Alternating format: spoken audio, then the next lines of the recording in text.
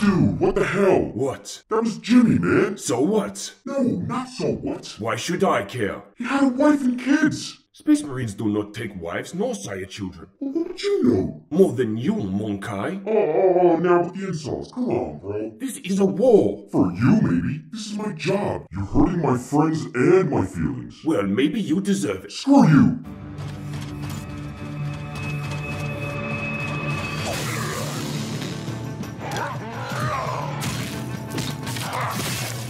Oh, dude, seriously, can you not? You charged at me. Well, you insulted me first, Xeno scum. God, you're such a dick.